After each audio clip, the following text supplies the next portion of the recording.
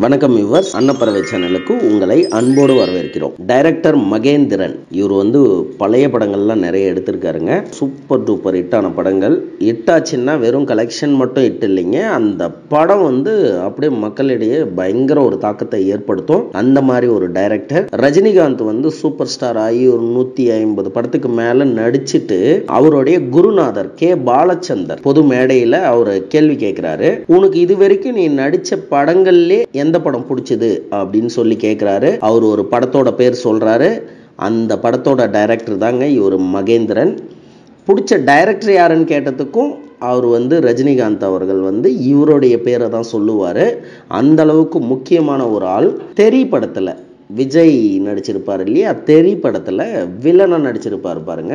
அவர் தான் director Mahendran. Cinema direct பண்ணது அப்படின்னு பார்த்தா ஒரு கொஞ்சம் படம் தாங்க. ஒரு பத்து படம் அந்த ரேஞ்சில் தான் இருக்கும். இவர் வந்து நடிகர் ரஜினிகாந்துக்கு மட்டும் என்னென்ன படம் கொடுத்தாரு அப்படின்றத நம்ம பார்க்கலாம். நடிகர் ரஜினிகாந்துக்கு கொடுத்த படங்கள்னா கமர்ஷியல் ரீதியாக நீங்கள் எதிர்பார்க்காதீங்க. ஏன்னா அவர் வந்து சூப்பர் ஸ்டார் ஸ்டைல் மன்னன். அந்த மாதிரி எதிர்பார்க்காதீங்க. ஆனால் நல்ல கதை இருக்கும் அந்த படத்தில். அந்த மாதிரி எதிர்பாருங்க. வாங்க அந்த படம் என்னென்னன்றது பார்க்கலாம். ஃபஸ்ட்டு ஃபஸ்ட்டு ஆயிரத்தி தொள்ளாயிரத்தி எழுபத்தி எட்டில் ஒரு படம் பண்ணுறாங்க இந்த படத்தில் நடிகர் ரஜினிகாந்த் செகண்ட் ஹீரோ கேரக்டரில் நடிகர் சரத்பாபு நடிச்சிருப்பாரு. ஹீரோயினா சரத்பாபுக்கு ஜோடியாக அதாவது ரஜினிகாந்துக்கு தங்கச்சியாக நடிகை ஷோபா நடிச்சிருப்பாங்க. ரஜினிகாந்துக்கு ஜோடியாக ஜெயலட்சுமி நடிச்சிருப்பாங்க. இந்த படம் வந்து சூப்பர் டூப்பர் ஹிட் ஆகுதுங்க. ஹண்ட்ரட் டேஸ்க்கு மேலே ஓடுது. இந்த படம் வந்து ரஜினிகாந்தோட நடிப்பை மிக பிரமாதமாக எல்லாருமே பாராட்டினாங்க.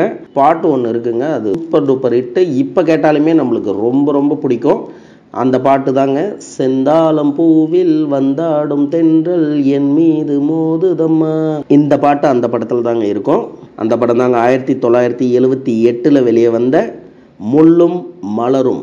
இந்த படம் வந்து சூப்பர் டூப்பர் ஹிட் மூவிங்க.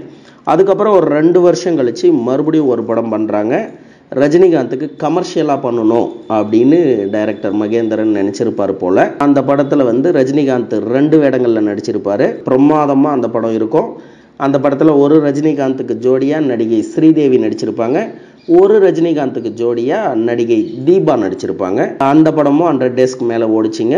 பிக்கஸ்ட் ஹிட்டான ஒரு படம் தான் அதை சொல்லணும். கமர்ஷியலாகவும் அந்த படம் மிகப்பெரிய ஒரு வெற்றி படம் தான் அந்த படம் தாங்க ஆயிரத்தி தொள்ளாயிரத்தி எண்பதில் வெளியே வந்த ஜானி.